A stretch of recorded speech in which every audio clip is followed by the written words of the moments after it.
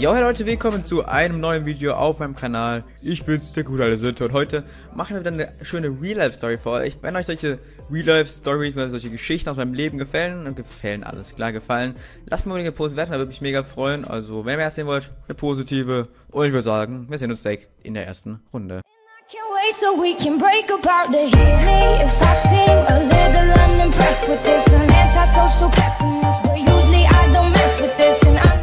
Also irgendwie seht ihr schon auf der Map Enna, Ena, keine Ahnung. Und ja, meine Freunde, wir gehen einfach mal direkt. Ja, in die Mitte gehen wir jetzt, glaube ich, einfach mal gar nicht. Und ja, ihr habt gesehen im Videotitel, was Sünte wurde angezeigt. Und ja, Leute, so kann man sagen. Ich werde euch mal was erzählen, wie das alles zustande gekommen ist, wann das war, wieso und so weiter. Und ja, ich würde sagen, ich fange einfach mal an. Und zwar war das ungefähr vor zwei Jahren ungefähr, ja, mit 14, ich bin 16, mit 14 ungefähr war das, ja, so um den Dreh kann man sagen. Und ich habe damals halt, wie manche wissen, schon einen Real-Life-Kanal gehabt, die werde ich aber nicht erwähnen, weil ich habe da solche richtigen Kiddie-Scheiß gemacht mit einem Freund, mit dem Julian. Also wer Julian nicht kennt, kennt ihr eigentlich gar nicht, aber ich habe ein Bild auf Instagram mit ihm hochgeladen, dann könnt ihr sehen, wie das ist. Wer mir auf Instagram noch nicht folgt, kann das daher halt gerne nochmal sehen. Ähm, ja, Leute, und ich würde sagen, ah, den kriegen wir nicht. Den kriegen wir nicht. Alter, das war kacke. Und ja, wie gesagt, ich habe mit dem guten Herrn ein Bild, also nicht ein Bild, sondern ein Video gemacht. Ähm, so Videos, halt so Real-Life-Videos, so, so Pranks, Challenges. Also nicht so Challenges, einfach solche, so wenn ich du wäre Zeug halt. Was halt damals, wir waren damals noch jung, so ein bisschen, hat, war alles Latte, was wir gemacht haben. Wisst ihr, wie ich meine? War das so keine, wie sagt man dazu, kein Schamgefühl, genau. Das kann man echt gut dazu sagen. Wir haben wirklich Sachen gemacht, Jungs. Ich habe mich in eine fucking Tiefkühltruhe reingelegt. Vom Rewe. Aber das ist nur ein Thema davon, aber das ist auch nicht das Hauptthema. Und so Zeug haben wir halt gemacht und ja, so war so das Kanalprinzip, so auf der Straße mittendrin, halt irgendwelche Ferzles machen, ne? Und ja, dadurch waren wir dann auch schon, sag ich mal, so, wie soll ich sagen, meine Enderperle kommt, ey, ich quitte. Und also in diesem Standpunkt, dass man so sagen kann, Leute, ja, wir waren so im Ort eventuell so ein bisschen bekannt. Man wusste halt, okay, das sind halt so zwei Spastis, die machen halt so YouTube-Videos. Wir hätten da jetzt nicht irgendwie 1000 Abonnenten. Ich glaube, wir hatten 400 oder sowas. Also nicht die Welt, aber es war halt damals zu unserer Zeit, dachten wir, Jungs, ähm, boah, Sapa, wir sind die Bosse aus unserem Dorf. Und ja, dachten wir. Wir haben jetzt, wie gesagt, solche Videos dann gedreht. Äh, wirklich ohne Schamgefühl, alles dies, das haben wir da halt gedreht. Ähm, und hatten da halt so ein kleines, einfach solch Team. Okay, wir waren halt so Real-Life-Freunde, haben halt halt so gemacht, die haben so Kameras noch gefilmt und so weiter von uns. Grüße gehen raus jetzt an dieser Stelle. Und hatten da halt, wie gesagt, unseren mäßigen Erfolg. Für uns war es halt damals richtig krass. So 400 Abonnenten, Jungs. Wir haben uns halt richtig Fame gefühlt und sowas. Wisst ihr, ich meine, also richtig so, ja, Jungs, wir sind richtig big in the games. Also so richtig bekannt halt, dachten wir, dass wir sind. Aber das waren wir halt alles nicht mal so als deine Tatsache nebenbei. Okay, den haben wir bekommen. Und ja, Leute, man war halt immer in so einem Starkpunkt, dass man sagte, okay, wir haben draußen gedreht und es ist halt wichtig, dass ihr wisst, dass wir das draußen gemacht haben. Das heißt, wir haben nicht irgendwie, also wir haben halt auch quasi fremde Leute gefilmt, die dann da zu sehen waren und das wollten die fremden Leute halt nicht. Oh Gott, oh Gott, oh Gott. Und es gibt ja sowas, das nennt sich ähm, Recht am eigenen Bild, Jungs, ne? Und von hinten auch noch. Wo sind wir denn hier? Wir waren mal so von einem Supermarkt, bekannter unter dem Namen Rewe. Haben da halt so ein bisschen gechillt, haben da was aufgenommen und da war halt so eine kleine Challenge. Der gute Herr musste halt was machen, der Julian. Und da hat man halt quasi so zwei Leute ansprechen müssen dafür. Und da waren halt so zwei ältere Leute, ähm, das sind nämlich mal Lügen, um die 60 so, um den Dreh jetzt mal, auf jeden Fall im Elternbereich Rentner, genau. Das kann man jetzt mal so sagen. Und diese Rentner waren halt so im Bild gesehen, die waren halt im Bild, haben sie auch gewusst, dass eine Kamera sie filmt und das wussten sie auch, ne? Haben uns dann auch gesagt, ja Jungs, ähm, cool, was ihr so macht, ne? Ich wünsche wünsch euch da viel Erfolg, aber bitte macht bitte, dass man so uns nicht erkennen kann auf dem Video, ne? Das haben wir direkt gewusst, okay, Internet, da wollen sie halt nicht gesehen werden, auch wenn es irgendwie nichts Schlimmes war für die, ne? Ihr wisst, wie ich meine, so, dass man, dass das irgendwie aufs Leben von denen jeden übel nehmen könnte was wir da gemacht haben. So was sie halt, sie würden jetzt nichts bereuen, wenn man sie sehen würde. Wisst ihr, ich meine? Und, Leute, das ist ein Chicken. Oh, guck mal, wie es da runterfliegt. Ähm, ja, Leute. Das war so das Ding. Wir haben gesagt, ja, wir filmen es nicht. Und wir haben es halt gefilmt. Wollten sie halt dann so zensieren, ne? Dachten wir. Dann hat unser Kameramann halt erstmal richtig fett krass auf die eingefilmt. Okay. wie gesagt, ist auch nicht der krasseste, das krasseste Problem. Wie gesagt, kann man ja alles raus zensieren mit dem schwarzen Balken, Stimme eventuell verzerren, falls man die gehört hatte. Ist alles recht und schön, ne?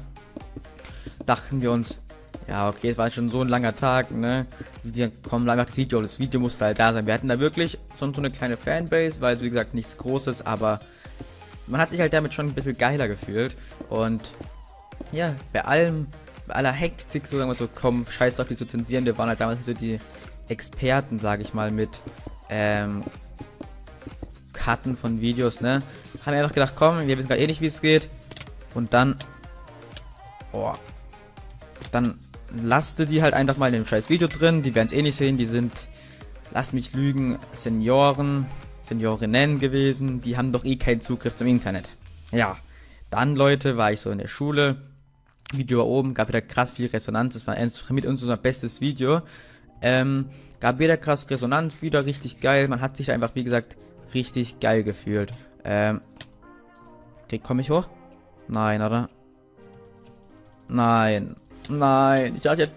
Na, ich habe aber gewonnen. Oh mein Gott. Ah, Jungs, waren wir wie gesagt so 14 Jahre jung, hatten gerade noch so Nachmittagsunterricht und so, lang Schule, Mittagspause. Bekomme ich so einen Anruf von meinem Vater und so, okay, eventuell etwas passiert. Ähm, was weiß ich.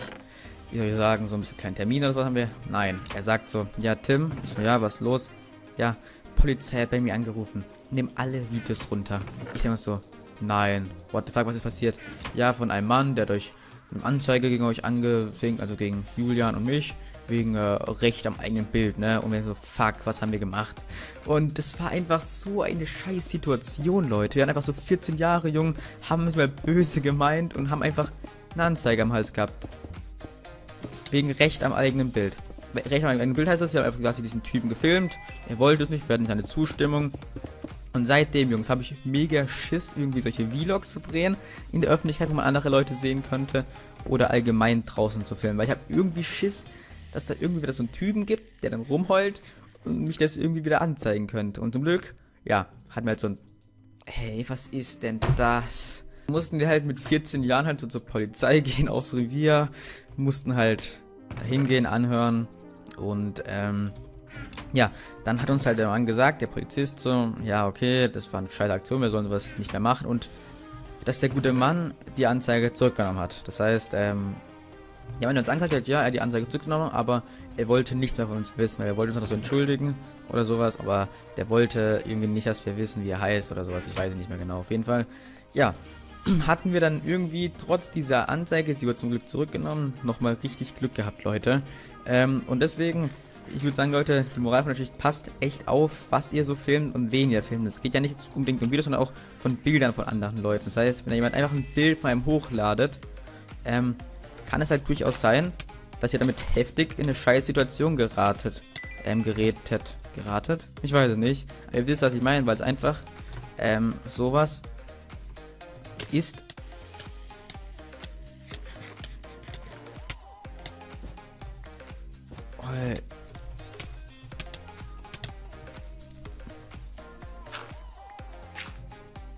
Alter. Oh, Jungs. Es ist intens.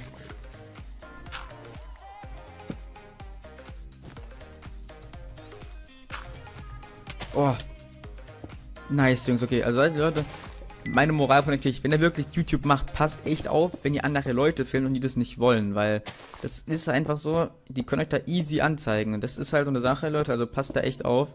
Ähm, ich hatte da nochmal richtig Glück, dass der gute Mann das fallen gelassen hat, aber ähm, nicht jeder ist so. Wie gesagt, da gibt es echt wirklich, sag ich mal jetzt auf gut Deutsch gesagt, solche Arschlöcher, denen es einfach egal ist. Die zeigen dann auch gerne mal so einen kleinen Pisser an, dass sie halt so eine kleine Lektion haben, ne? Und ja, es hat gewirkt, seitdem habe ich wirklich nicht gerade das Beste draufreden auf Vlogs, weil ich keinen Bock habe. Nur weil irgend so ein Spaß, die jetzt in Anführungszeichen da keinen Bock hat, gezeigt zu werden, ähm, äh, quasi eine Anzeige zu bekommen, weil es geht einfach so schnell mittlerweile, ne? Man kann wegen jedem Ferz gefühlt angezeigt werden, also alle YouTuber, meine Moral von der Geschichte. Oh Gott. Passt echt auf, Jungs, wen oder was ihr filmt und ob ihr, braucht, ob ihr dafür die Erlaubnis habt, was diese Person das möchte. Das war im Internet zu sehen. Ich, war, ich weiß, es war mega dumm. Der Typ hat es ja noch extra gesagt, aber äh, Real Talk, wer kommt denn auf die Idee, dass irgendein Rentner wollen auch noch auf unseren Kanal. Wir waren ja nicht irgendwie jetzt. Ey, ich quitte, ne? Es ist doch unglaublich, ne? Es ist unglaublich. Jungs, da kommt darauf, dass irgendein 60-jähriger Mann auf eurem Kanal findet, der nicht mehr groß ist. Naja, trotzdem, Leute, wenn euch gefallen hat, das gerne positiv würde mich mega freuen. Ich würde sagen, wir sehen uns direkt in dem morgigen Video. Haut da rein, lasst euch mal eine Lektion sein. Wenn ihr mehr sehen wollt, Daumen schon nach oben und ciao.